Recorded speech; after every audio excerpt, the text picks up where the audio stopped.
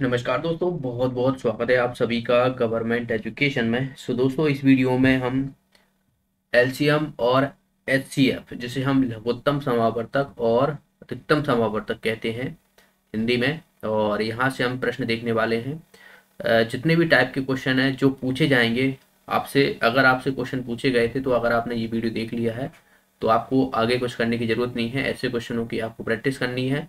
और आपको जो है वो दस क्वेश्चन मैथ्स के पूछे जाना है। तो आप समझ सकते हो कि मैथ्स में बहुत सारे टॉपिक हैं और उनसे अगर एक ही क्वेश्चन भी कवर करेंगे तब भी मैथ्स के जो है टॉपिक पूरे नहीं हो पाते हैं और एक ही दिन जो है आपका एग्ज़ाम होना। ऐसा नहीं है कि शिफ्ट वाइज जो है आपका एग्ज़ाम चलेगा, एक ही दिन आपका एग्ज़ाम होना है तो चेंजेस भी कुछ नहीं रहेगा। तो सभी के लिए ऑल ओवर सेम होने वाला है और पेपर आपका मैथ्स का जो रहने वाला है, वो सिंपल ही रहने वाला है ओके इससे पहले हमने जो है वो परसेंटेज ठीक है? सिंप्लीफिकेशन टाइम एंड वर्क और बात की जाए सी आई एस आई ये हमने टॉपिक कवर कर चुके हैं, अगर आपने नहीं देखे तो लिंक आपको डिस्क्रिप्शन मिल जाएगी तो वहाँ से आप देख सकते हो, या फिर आई का बटन यहाँ पे आ रहा होगा, उस पर भी क्लिक करके आप देख पाओगे, सारी वीडियो की प्लेलिस्ट आपको एक साथ मिल जाएगी। चलिए तो आसान सी भाषा में हम समझने की कोशिश करते हैं। वीडियो पसंद आए तो वीडियो को लाइक कीजिएगा और इस वीडियो की आप पीडीएफ डाउनलोड कर सकते हो टेलीग्राम ग्रुप से। लिंक आपको डिस्क्रिप्शन में मिल जाएगी तो वहाँ से आपको सारी वीडियो की प्लेलिस्ट मिल जाएगी और पीडीएफ भी मिल जाएगी। चलिए, देखिए, पहला क्वेश्चन है यहाँ पर। आपको जो है वो इस तरीके से फ्रैक्शन में जो है वो संख्याएँ दे दी जाती हैं और आपसे एलसीएम पूछ लिया जाता है या फिर एचसीएफ जो है पूछ लिया जाता है, ओके?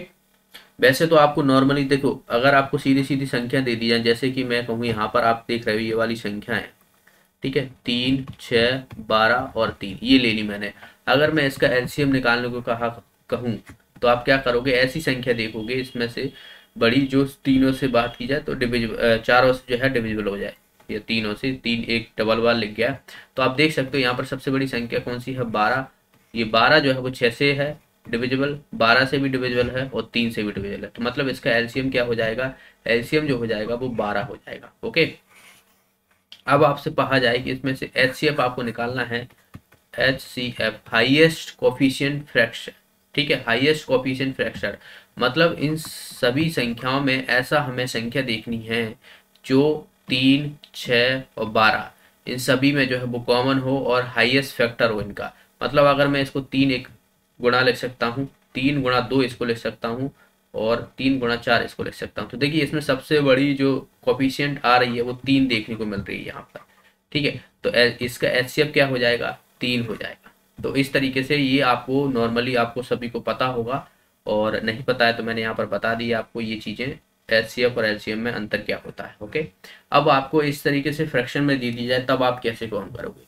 तो जैसे कि यहाँ पर एच आपको निकालने को कहा गया है तो एच को आपको क्या करना है? अगर आपको यहाँ पर भिन्न में दी हुई हो तो एस तो ऊपर वाला जो अंश है, अंश का आपको एचसीएफ ले लेना है और हर का आपको एलसीएम ले लेना है। बस, इतना करना है आपको। क्या करना है? अंश का जो है आपको एच ले लेना अगर यहाँ पर एचसीएफ पूछा जा रहा है, ठीक है? इसका उल्टा ही जो है वो, अगर यहाँ पर एलसीएम पूछा जाता तो वो हम देखेंगे, ठीक है? तो पहले यहाँ पर देखिए, अंश का यानी इस हम संख्या देख रहे हो यहाँ पर तीन छ बारह और तीन। इन सभी का आपको हाईएस्ट कोफिशियंट फैक्टर लेना है क्योंकि हाईएस्ट कोफिशियंट फैक्टर जो है, यहाँ पर हमारा क्या आया था? तीन आया था। और आप देख रहे हो इनका चार, पच्चीस, पैंतीस और पाँच। इनका लेना है हमें एलसीएम क्योंकि हमें यहाँ पर हर में है, ये एलसीएम लेना है। तो इसका आप एलसीएम देखोगे यहाँ पर किस तरीके से आएगा? देखिए, अब चार तो इसमें किसी में है नहीं कॉमन तो चार तो मल्टीपल होगा ही। पच्चीस और पाँच। तो पाँच तो पच्चीस ये हो जाएगा। और यहाँ से देखिए कितना? पाँच और सात पैंतीस तो पाँच तो पहले से आ चुका है, सात नहीं आया तो सात ले लेंगे।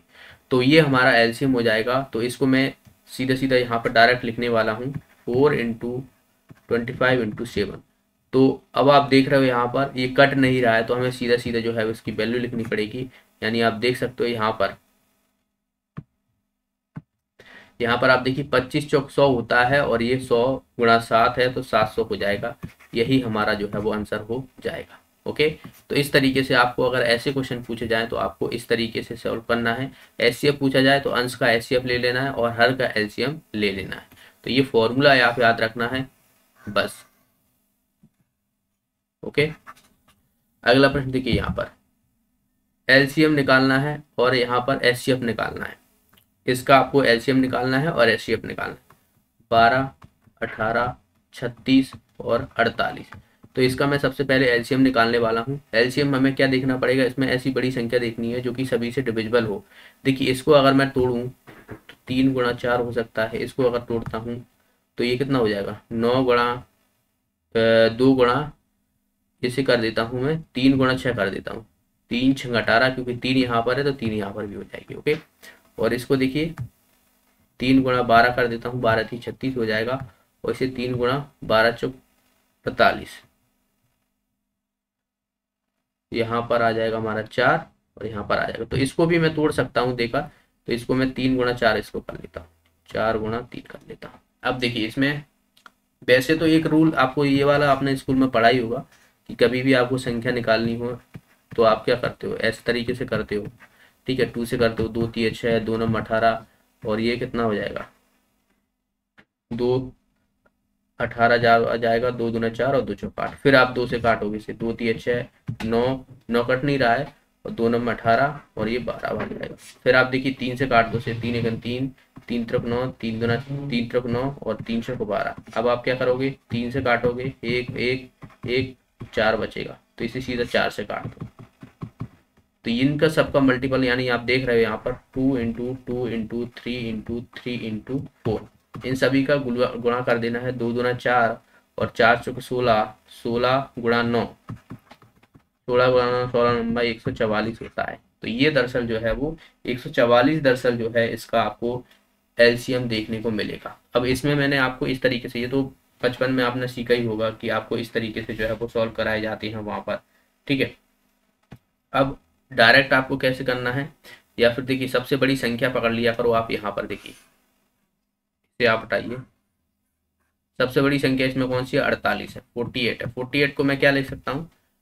बारह चौक अड़तालीस होता है तो दो गुणा दो गुणा, तीन गुणा, चार कर सकता हूँ इसे, ठीक है? तीन चौक बारह बारह दूना चौबीस चौबीस दूना अड़तालीस। अब देखिए बारह इसमें डिविजिबल है तीन चौक बारह बारह से चला जा रहा है, ठीक है? अठारह है तो अठारह को आप देखिए, किसको हम? तीन तो आ रहा है, यानी इसको दो, तीन गुणा तीन लिख सकते हैं। तो तीन है, दो है, लेकिन अब देखिए यहाँ पर डबल तीन है तो यहाँ पर एक ही है तो तीन से और मल्टीप्लाई करूँगा इसमें ओके और इसमें देखिए, छत्तीस, बारह गुणा तीन तो चार थी बारह और तीन है तो ये भी चला जाएगा, और अड़तालीस तो जा ही रहा है। तो यहाँ पर आप देखिए, हमारा जो एलसीएम देखिए ये जो यहाँ पर निकला था, वही सेम टू सेम हमारा यहाँ पर आया है। तो ये भी क्या हो जाएगा, एक जो है एलसीएम आ जाएगा हमारा। तो ये कई तरीके हैं, आप कैसे भी सॉल्व कर सकते हो, इसे सॉल्व करोगे, थोड़ा टाइम लगेगा। वैसे आप सॉल्व करोगे कि इसमें सबसे बड़ी संख्या पकड़ लो, इनके जो है वो फैक्टर कर लो, एक तरीके से कौन कौन से हो रहे हैं। फिर देखो कि ये क्या क्या डिविजिबल हो रहा है, और जो डिविजिबल नहीं हो रहा है, उनको मल्टीप्लाई कर देना है। ओके अगला प्रश्न देखिए यहाँ पर। ये वाला प्रश्न है, इसमें हमें एल्सियम निकालना है। तो आपको एल्सियम निकालना है इसमें। तो जो अंश है, अंश का आपको एल्शियम ले लेना है और हर का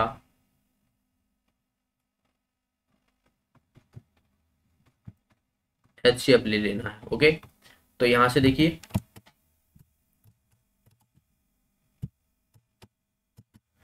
तो अंश का एल्शियम यानी आप देखिए बारह, आठ, सोलह और चार, इन सब का एल्शियम लोगे तो एल्शियम इसका क्या आ जाएगा?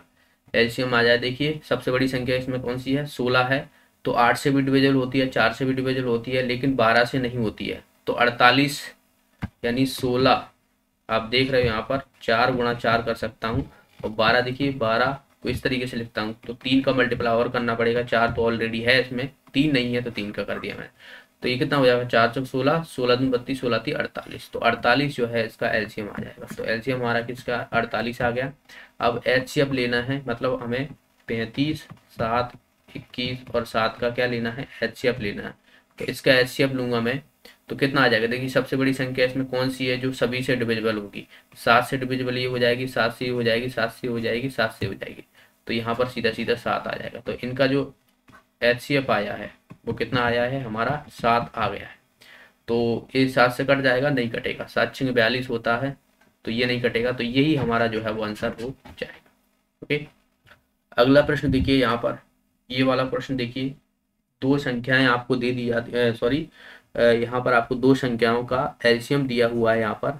आठ सौ चौंसठ और उनका एच दे दिया। यानी एल्शियम आपको दे दिया है एट सिक्स फोर और एच दे दिया है H C F one four four एक संख्या आपको दे दी गई है। मान लिया मैंने कि एक संख्या, जो पहली संख्या है, वो दे दी गई है टू एट एट तो हमें दूसरी संख्या निकालनी है, क्या होगी?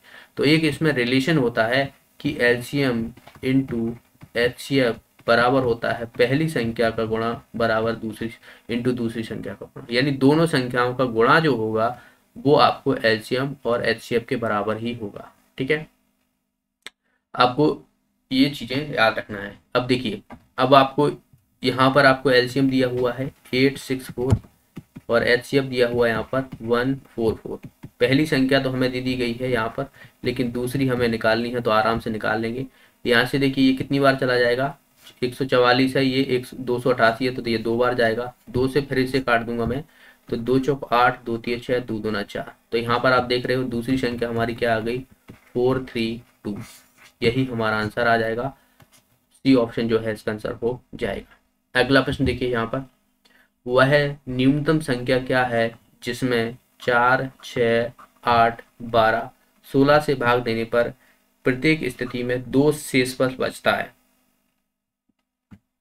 चार छ आठ, बारह और सोलह। हमें ऐसी संख्या देखनी है, न्यूनतम। जो कि अगर मैं चार छ आठ, बारह और सोलह से इसमें से किसी भी संख्या से अगर मैं डिवाइड करूँ उस संख्या में तो मुझे हमेशा शेषफल दो ही देखने को मिले। तो सबसे पहले मैं क्या करूँगा? इन संख्याओं का जो है, वो सबसे पहले एलसीएम लूँगा। तो एलसीएम इसका क्या आ जाएगा? देखिए, चार है। सबसे बड़ी संख्या आप देखिए, सोलह है। सोलह को मैं चार गुणा चार लिख सकता हूँ। तो चार ऑलरेडी आ चुका है। अब यहाँ पर देखिए, ये दो तीन गुणा हो जाएगा। दो, तीन छः होता है। तो तीन नहीं है तो तीन ले लिया मैंने। चार यहाँ पर आप देख रहे हो, आठ है। तो इसको मैं दो गुणा दो ले सकता हूँ तो चार गुना आठ आ चुका है ऑलरेडी पहले से ही, ठीक है? चार तीय बारह, ये भी हो जाएगा। तो यहाँ से आप देख रहे हो चार सौ सोलह सोलह तीय अड़तालीस हो रहा है। तो ये अड़तालीस जो आप संख्या देख रहे हो यह वह संख्या है जिसमें मैं चार छ आठ, बारह और सोलह से अगर डिविजिबल करता हूँ तो ये पूरी तरह विभाजित होगी। लेकिन हमें शेषफल दो चाहिए। तो मैं क्या करने वाला हूँ? अड़तालीस में अगर दो जोड़ दूँ तो मुझे पचास संख्या मिलेगी। ये पचास संख्या ऐसी संख्या है, अगर मैं चार से इसमें डिवाइड भी करता हूँ छः से करता हूँ, या आठ से करता हूँ, या बारह से करता हूँ, या सोलह से करता हूँ, मुझे शेष फल हमेशा जो है वो दो मिलेगा। तो हमारी संख्या क्या हो जाएगी? यहाँ पर पचास हो जाएगी, यानी सी ऑप्शन जो है इसका आंसर हो जाएगा। ओके अगला प्रश्न देखिए, यहाँ पर चार घंटियाँ हैं। चार छ आठ चौदह सेकंड के अंतराल पर जो है वो बज रही हैं। वे बारह बजे एक साथ बजना आरंभ करती हैं तो पुनः वह कितने बजे एक साथ बजेंगी? कोई चार घड़ियाँ मान लो, ठीक है? ये चार घड़ी हैं। तो इसमें क्या होता है कि पहली जो है वो चार सेकंड, दूसरी छः तीसरी आठ और चौथी जो है वो चौदह सेकंड के अंतराल पर इसमें क्या है? अलार्म बजता है। तो एक ऐसा समय आएगा कि यह एक साथ जो है वो सभी घड़ियाँ जो है वो बात की जाए तो अलार्म एक साथ बजेगा इनमें। तो वो कौन सा समय होगा? अगर इनमें बात की जाए तो 12 बजे एक साथ बजना आरंभ करती है तो 12 बजे, ठीक है? तो अब देखिए, सबसे पहले हम क्या करेंगे? इन सब का एल्शियम ले लेंगे। इन सब का एल्शियम आप देखोगे कितना आ जाएगा यहाँ पर? चौदह सबसे बड़ी है। तो इसको मैं लिख सकता हूँ, सात गुणा दो। तो दो यहाँ से आ चुका है, दो और बचेगा, ठीक है? तीन नहीं है इसमें, तीन ले लूँगा। और दो दूना चार और दो और ले लूँगा। तो यहाँ से आप देखिए ये कितना हो जाएगा हमारा। सात दूना चौदह दूनी अट्ठाईस अट्ठाईस गुणा छ ठीक है? और यहाँ पर देखिए छह सत्तर बयालीस आठ, अड़तालीस हाँ से लगा चार छः दूना बारह, तेरह, चौदह, पंद्रह, सोलह। यानी one sixty eight second. One sixty eight second में जो है वो देखा जाएगा तो यह घड़ी जो है वो एक साथ अलार्म बजेगी। अब बज रहा है 12 तो कितने समय बाद? अब आप देखिए, ये सेकंड है सेकंड को मैं मिनट में कन्वर्ट करूँगा तो ये कितना समय लेगी आपको पता है कि 60 सेकंड में जो है वो एक मिनट होती है। तो यहाँ पर तो 168 है। तो आप समझ सकते हो, अगर मैं दो का इसका मल्टीप्लाई करूँगा तो 120 सेकंड हो जाएगी, और ये कितना हो जाएगा? दो मिनट हो जाएगा। अब आप समझ रहे हो यहाँ पर 120 में से घटाऊँगा तो फोर एट, यानी दो मिनट अड़तालीस सेकंड जो रहेगा। दो मिनट अड़तालीस सेकंड, यानी दो मिनट अड़तालीस सेकंड। अब बारह बजे का टाइम था, दो मिनट इसमें और जोड़ूँगा और अड़तालीस सेकंड जोड़ूँगा। ये दो मिनट है। तो बारह बज के दो मिनट, बारह बज के दो मिनट अड़तालीस सेकंड में जो है वो एक साथ जो है वो बजना प्रारंभ करेंगे। हमारा देखिए आंसर क्या हो जाएगा? ए ऑप्शन जो है इसका आंसर हो जाएगा। ठीक है? ऐसे ही जो है वो आपको जो है सर्कल में अगर कोई भी चीज़ है, एक मान लो चार एक छ और एक आठ, ये तीनों ही जो है वो दौड़ते हैं स्पीड में। तो ऐसा कौन सा समय आएगा कि एक समय देखने को मिलेंगे? तो इनका एल्शियम ले लो और वो जिस टाइम से प्रारंभ हो रहे हैं, वो उसी में हमें जोड़ देना है, जैसे कि मैंने यहाँ पर इस तरीके से जोड़ दिया। भाई, ये भी तो घड़ी है घड़ी भी तो टाइम से दौड़ रही है ना एक तरीके से, इस तरीके से। तो वैसे अगर कोई आदमी है या कोई भी स्टूडेंट है, वो दौड़ रहा है सर्कल में तो सेम टू सेम वही कॉन्सेप्ट इसमें लगा है और वो भी इसी में लगेगा। ठीक है? तो दोनों ही कॉन्सेप्ट सेम लगने वाले हैं, अगर आपसे कभी भी ऐसा क्वेश्चन पूछ लिया जाए तो थोड़ा दिमाग लगाना कि ऐसा ही क्वेश्चन तो वो भी है। अगला प्रश्न देखिए यहाँ पर। दो संख्याओं के एलसीएम और एच का जो है, यहाँ पर हमें, यहाँ पर क्या दिया हुआ है? चौबीस दिया हुआ है, ये गुणनफल है। दरअसल एलसीएम और एचसीएफ का गुणनफल दिया हुआ है यहाँ पर चौबीस। उनका अंतर दिया हुआ है एक्स माइनस वाई बराबर दो दिया हुआ है। ठीक है? मैंने मान लिया कि एक संख्या एक्स है, दूसरी वाई है तो इनका अंतर दिया हुआ हमें दो। तो इसमें हमें संख्या ज्ञात करनी है कि कौन सी संख्या हो। अब आप देख रहे हो यहाँ पर ऑप्शन से भी आप वेरीफाई कर सकते हो देखा जाए तो। अब देखिए, दोनों का गुणनफल हमें यहाँ पर चौबीस देखने को मिल रहा है। एलसीएम और एचसीएफ का। ओके अगर मैं इसमें, आप देखिए, पहली संख्या आठ मानता हूँ, दूसरी संख्या यहाँ पर क्या मानता हूँ? छह मानता हूँ। तो इन दोनों का डिफरेंस तो दो आ रहा है। लेकिन आप इनको देखिए, आठ छिंग आठ पंचालीस आठ छिंग अड़तालीस आ रहा है, जबकि आपको जो है यहाँ पर इन दोनों का एल्शियम लोगे, और उसका एल्शियम लोगे, तब हमें चौबीस देखने को मिलना चाहिए। तो आठ है और छः तो इसका एल्शियम लूँगा अगर मैं तो सबसे पहले देखिए, चार गुना आठ है, ये दो गुणा तीन है। तो तीन से और कर दूँगा, चार तीन बारह दूना चौबीस तो चौबीस हो रहा है। तो ये हमारा जो है वो सेटिस्फाई कर रहा है। अब आप अगला वाला भी देख लो तो अगला वाला देख लो, ऐसे ये वाला देखोगे या फिर ये वाला देख लो। तो जो आपका ऑप्शन सेटिस्फाई कर रहा है, इसमें ऐसा नहीं है कि आपको एक ही ऑप्शन सेटिस्फाई कर सकते हैं, दो भी कर सकते हैं। तो अगर आपको एक ही ऑप्शन ऐसा दिख रहा है तो आप उसे लगा के जो है वो आगे बढ़ जाइए। अगर आपके दो ऑप्शन मैच कर रहे हैं ऐसे तो आपको क्या है, उसका मेथड आना चाहिए। तो मेथड आपको मैं पहले बता देता हूँ। देखिए, हमें पता है कि L C M into H C F okay? यहाँ पर आप देख रहे हो, ये पहली संख्या और दूसरी संख्या के गुणनफल के बराबर होता है कि नहीं होता है? अब यहाँ पर एलसीएम एच सी एफ़ दिया हुआ है, चौबीस। और हमें देखिए, एक संख्या मैंने क्या मानी है? एक्स मानी है।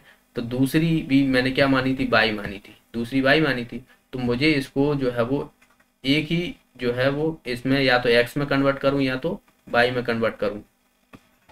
तो मैं क्या करता हूँ, इसको एक्स में जो है वो कन्वर्ट कर लेता हूँ या बाई में। तो एक्स में कन्वर्ट कर लेता हूँ, यहाँ से एक्स की वैल्यू मुझे पता पड़ जाएगी टू प्लस वाई हो जाएगी। तो इसकी जगह मैं रख सकता हूँ एक्स की जगह। तो यहाँ से देखिए, चौबीस बराबर एक्स की जगह क्या रखूँगा? Two plus y into y तो यहाँ से देखिए, चौबीस बराबर two y plus y square हो जाएगा। ये क्वाड्रेटिक इक्वेशन बन गया, दो घाती समीकरण हमारा बन गया। तो यहाँ से देखिए, ये कुछ इस तरीके से हमें देखने को मिल जाएगा। ठीक है? ये चौबीस को मैंने इधर ले लिया। बस इसको हमें सॉल्व कर लेना है। देखिए, उसके गुणनखंड मैं कुछ इस तरीके से करूँगा। बारह गुणा दो करता हूँ। बारह दूना चौबीस। तो माइनस का हो जाएगा ये। तो ये हमारा माइनस का काम नहीं बनेगा। माइनस की हमें चाहिए वैल्यू। तो आप इसे किस तरीके से तोड़ो? आठ, तीन आठ तीन चौबीस। तो नहीं टूटेगा क्योंकि हमें यहाँ पर दो चाहिए। तो हमें कितना? छः और चार कर लेते हैं। छः चौक चौबीस होता है। और यहाँ पर हमने देखा कि यहाँ पर प्लस है तो ये माइनस की वैल्यू रहेगी और ये वाली प्लस की वैल्यू रहेगी। ये कॉन्सेप्ट मैं ऑलरेडी आपको बता चुका हूँ कि क्वाड्रेटिक इक्वेशन में आपको प्लस वैल्यू माइनस वैल्यू कहाँ पर देखने को मिलेगी। तो यहाँ पर प्लस है मतलब बड़ी वाली के साथ आपको माइनस लगाना है, छोटी वाली के साथ। तो बाई की वैल्यू हम प्लस लेंगे मतलब चार आएगी यहाँ पर। अब हम यहाँ से एक्स की वैल्यू निकाल सकते हैं एक्स बराबर two plus four is equal to six हो जाएगी। तो हमारी संख्या क्या हो जाएगी? छः और चार हो जाएगी, हमारा आंसर आ जाएगा इसका टी ऑप्शन आप इसे क्वाड्रेट इक्वेशन को minus B plus minus under root B square minus four A C upon two है इस फॉर्मूले से भी सॉल्व कर सकते हो। ठीक है, ये ए जो रहता है वो वाई स्क्वायर का गुणन मल्टीपल होता है। बी जो रहेगा वाई का और सी हमारा जो है वो माइनस चौबीस रहेगा। तो इसमें आप वैल्यू रखोगे तो हमारे दो मान निकलेंगे तो हमें प्लस वाला वैल्यू लेना है। ठीक है, क्योंकि यहाँ पर आप देख रहे हो एलसीएम और आरसीएफ हमें जो है वो यहाँ पर इंटू प्लस का ही देखने को मिल रहा है। तो इस तरीके से ये वाला कॉन्सेप्ट आपको याद रखना है, किस तरीके से जो है वो क्वेश्चनों को आपको डील करना अगला प्रश्न देखिए, यहाँ पर दो संख्याएँ हैं, अट्ठाईस और बयालीस, इनका एलसीएम और एच का अनुपात हमें निकालना है। तो सबसे पहले हमें क्या करना पड़ेगा? इनका एलसीएम निकालना है तो एलसीएम इनका क्या हो जाएगा? देखिए, सबसे बड़ी संख्या इसमें आप देखिए, ये है, सात गुणा दो कर सकता हूँ इसको, सात गुणा सात, तीन की सात, चौक अट्ठाईस। और इसे इसे हम क्या कर सकते हैं? सात गुणा दो गुणा तीन कर सकता हूँ। सात गुणा चौदह चौदह तीय बयालीस। अब देखिए, अब हमें एलसीएम निकालना है तो एलसीएम सबसे बड़ी संख्या तो ये है है तो सात गुणा दो गुणा तीन है है दो और ले लूँगा इसमें, क्योंकि हमें यहाँ पर सात और चार चाहिए तो सात और चार तो तभी बनेगा। अब यहाँ से हमें एस निकालना है, इन्हीं संख्या का तो एस इन दोनों का क्या हो जाएगा? एलसीएफ हमें देखिए, यहाँ पर सात गुणा ये चार है तो इसमें सबसे बड़ी संख्या हमें देखने को कौन सी मिल रही है? इसको हम दो गुणा दो भी ले सकते हैं। सात गुना चौदह मिनट अब इसमें देखिए, सात गुणा दो आ रहा है और सात गुणा दो आ रहा है। मतलब चौदह जो है इसका एच रहेगा। बस दोनों का हमें क्या करना है? इसका अनुपात ले लेना है। तो L C M upon H C F बराबर सात गुणा दो गुणा तीन गुणा दो। और ये चौदह तो है ये सात गुना चौदह ये चला जाएगा। छह बटा एक जो है इसका आंसर आ जाएगा हमारा। देखिए, फ़र्स्ट ऑप्शन जो है इसका आंसर हो जाएगा। आसान सा प्रश्न था। देखिए, ये वाला प्रश्न है, वो है अधिकतम संख्या क्या है? जिसमें नौ, आठ, नौ और तेरह, सत्ताईस में भाग देने पर क्रमशः पाँच और सात शेष फल बच रहा है। ठीक है? यह दो संख्या हैं आपको दी हुई है। और इसमें मैं ऐसी संख्या कौन सी होगी कि अगर मैं इसमें डिवाइड करूँ, अधिकतम संख्या हमें देखनी है और। ठीक है? ऐसी कौन सी अधिकतम संख्या होगी कि इसमें डिवाइड करूँ और इसमें डिवाइड करूँ। तो इसमें मुझे शेष फल पाँच मिले और इसमें मुझे सात मिले। ओके तो अगर मैं इसमें ये वाली संख्या में से अगर पाँच घटा देता हूँ तो ये क्या हो जाएगी? जो संख्या अधिकतम होगी, वो पूरी तरह इससे डिविजिबल हो जाएगी मतलब डिविजिबल कर देगी। यानी आप समझ रहे हो, यहाँ पर नाइन एट नाइन में अगर मैं पाँच माइनस करता हूँ तो यहाँ से देखिए नाइन एट फोर, ये संख्या मिलेगी इसी तरीके से। तेरह सत्ताईस में से सात घटाऊँगा तो यहाँ से तेरह सौ बीस मिलेगी। ठीक है? अब इसमें हमें क्या करना है? इसका हमें हाईएस्ट कोफिशियंट फ्रैक्शन लेना है, यानी एचसीएफ लेना है। वही ऐसी वो जो अधिकतम वही संख्या होगी, जिसमें अगर मैं इसमें डिवाइज करूँगा, तब मुझे जो है वो कोई विशेष फल देखने को नहीं मिलेगा, क्योंकि मैंने यहाँ पर पाँच माइनस कर दिया और सात माइनस कर दिया गया आप समझ रहे हो यहाँ पर? देखिए एच हमने निकाला था तो इन दोनों संख्याओं की क्या निकाली थी? वो अधिकतम एक तरीके से डिविजिबल हो। अब देखिए, चौदह से ये भी डिविजिबल है और चौदह से ये भी डिविजिबल है। तो बस यही वाला आप समझ रहे हो, इस, इन सब का हमें एलसीएम, वो एच लेना रहेगा। तो एच हम निकालेंगे, देखिए, आप कैसे भी निकाल सकते हो, या तो आप ऑप्शन से भी वेरीफाई कर सकते हो इसमें। देखिए, आठ रखूँगा मैं तो आठ से ये डिविजिबल हो जाएगा। आठ से डिविजिबल हो जाएगा, यानी आठ एक आठ आठ दो आठ तीन चौबीस होता है। ओके? और इसमें भी देखिए, आठ और आठ यहाँ से जाएगा तो पाँच बटेगा, आठ पंचालीस, आठ संग अड़तालीस तो ये आठ से डिविजिबल नहीं होगा। तो ये हमारा ऑप्शन गया सोलह से देखिए। सोलह की अगर हम बात करें तो आठ गुणा दो तो ये था ही। जब आठ से नहीं हो रहा है तो सोलह से कहाँ से? तो ये भी नहीं होगा हमारा। अब ये वाला देखिए, छह गुणा चार है। छह गुणा चार है तो इसको हम देखिए। Three, two, four. इस तरीके से भी लिख सकते हैं। अब आप एक काम किया करो ऐसे। यहाँ से एक ही क्वेश्चन को ऐसे सॉल्व करोगे तो सबसे पहले क्या करो आप? सबसे बड़ी हमें संख्या चाहिए तो सबसे बड़ी ही उठा लो सबसे बड़ी उठाओगे तो यहाँ से देखिए नाइन एट फोर बत्तीस से डिवाइजेबल करूँगा तो पहले क्या करने वाला हूँ इसमें? तीन से तीन से कर सकता हूँ। ठीक है? तीन दूना छः, तीन तरफ़ नौ। तो यहाँ से देखिए कितना बचेगा? चौबीस बचेगा। ये बत्तीस है, ये चौबीस है। चला जाएगा, नहीं जाएगा। तो ये हमारा गलत हो जाएगा। ठीक है? इसी तरीके से नाइन एट फोर चौबीस का देखता हूँ। चौबीस का देखता हूँ तो यहाँ से देखिए चार से इसे डिवाइड चार सौ सोलह, चार दूना आठ एक नौ और ये चौबीस। तो ये चौबीस से जा रहा है। अब मैं इसको इससे भी डिविजिबल करके देखता हूँ। ओके? इसको भी तो यहाँ से देखिए बत्तीस, बीस, चौबीस को करूँगा यहाँ से या फिर ऐसे कर लेते ना, एक काम करते हैं। सीधा सीधा कर लेता हूँ। देखिए बारह एकन बारह बारह एकन बारह, जी। और बारह दूने चौबीस और पचपन। तो ये भी चला गया हमारा। मतलब आप समझ रहे हो यहाँ पर, यही वाला हमारा जो है वो सही हो जाएगा, क्योंकि ऑप्शन में हमें बत्तीस तो जा नहीं रहा था, वहाँ से शेष पर पूरी तरह कट नहीं रहा था तो यही हमारा आंसर आ जाएगा।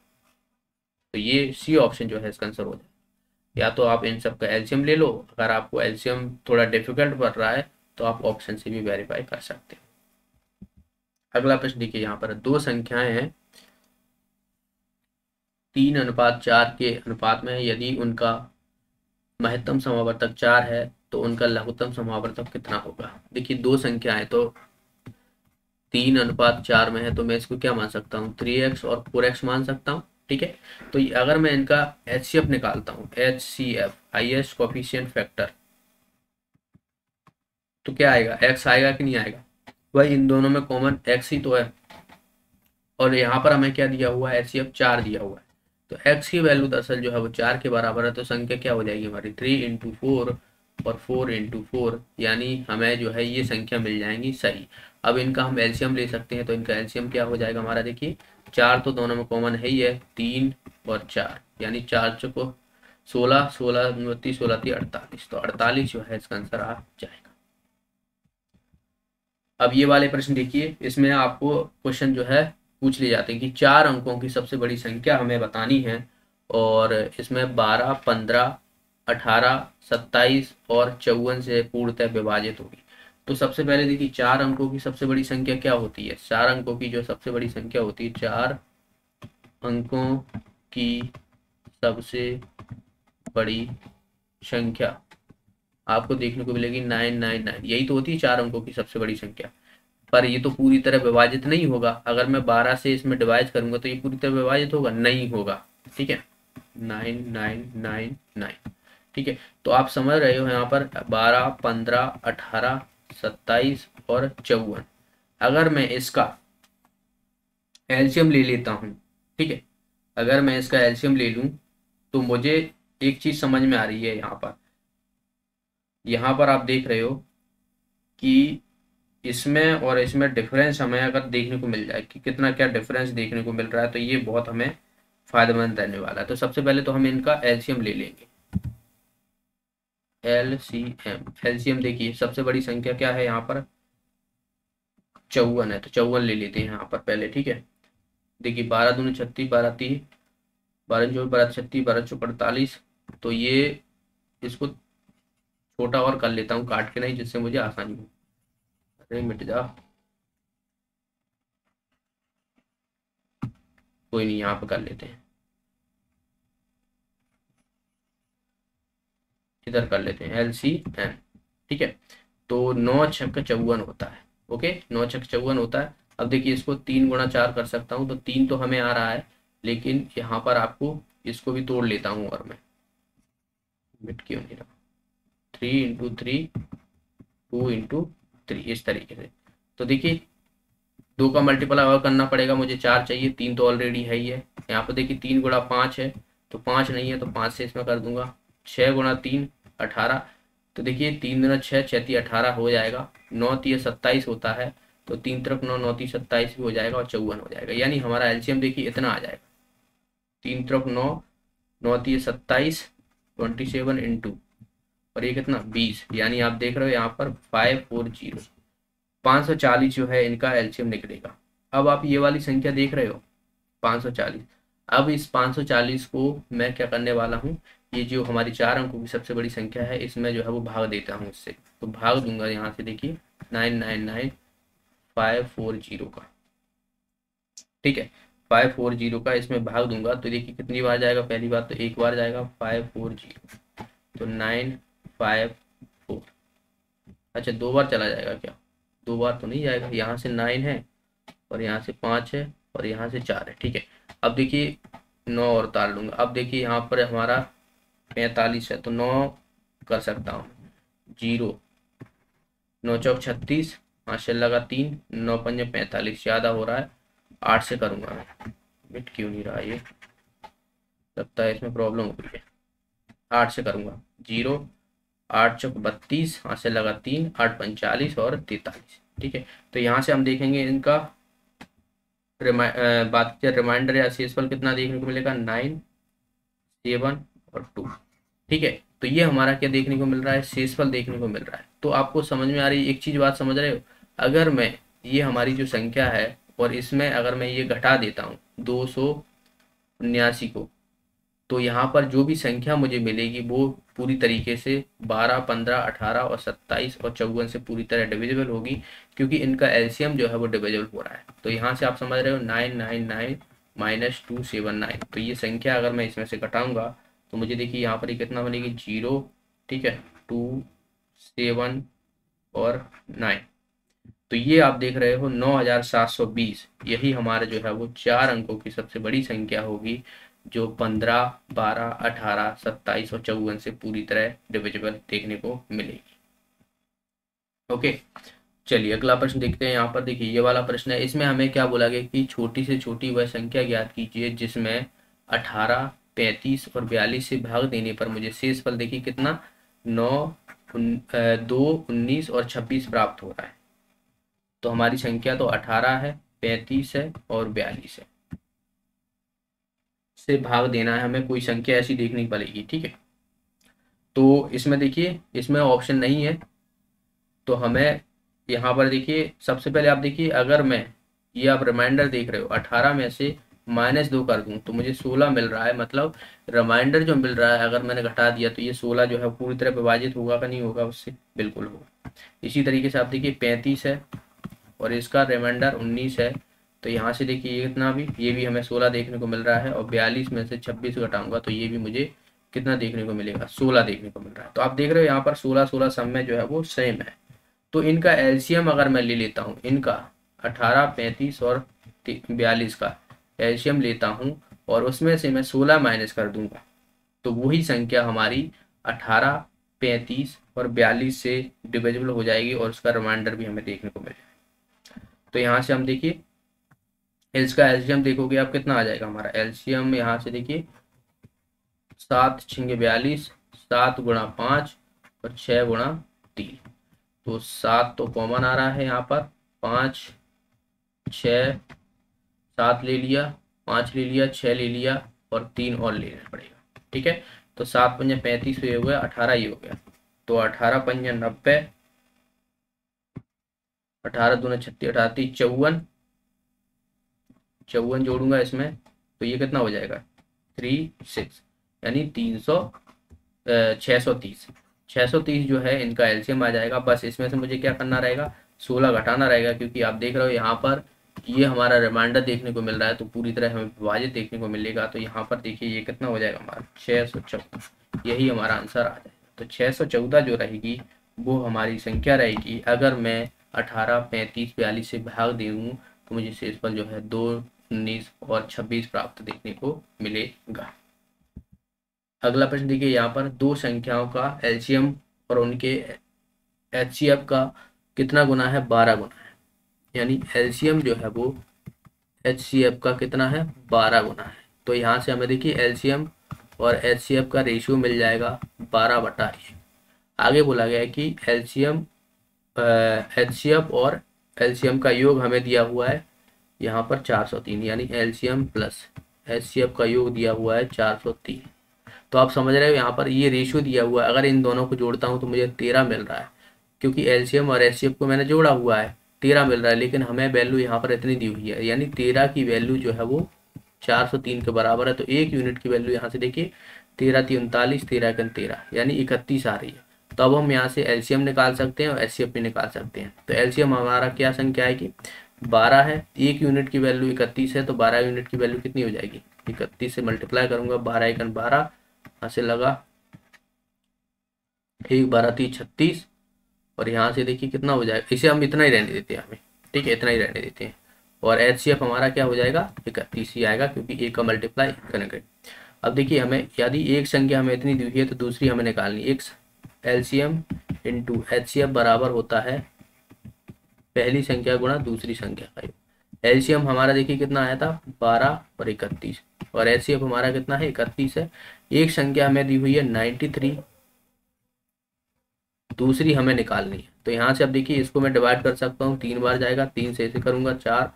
तो चार एक चार चार तीन बारह, यानी एक सौ चौबीस रहेगी। वो दूसरी संख्या निकल आएगी। ओके तो आज की इस वीडियो में इतना ही। मिलते हैं अगली वीडियो में। वीडियो को लाइक और शेयर ज़रूर करना। जो भी साथी नए हैं, चैनल को सब्सक्राइब कर लेना। अगर आपका कोई भी डाउट है तो आप मुझसे कमेंट बॉक्स में पूछ सकते हो। ओके और बाकी आप अपनी पढ़ाई पर फोकस कीजिए। ज़्यादा से ज़्यादा जो है वो प्रैक्टिस कीजिए रिवाइज कीजिए, जिससे आपका स्कोर अच्छा हो पाए। मिलते हैं अगले वीडियो में। तब तक के लिए बहुत बहुत धन्यवाद।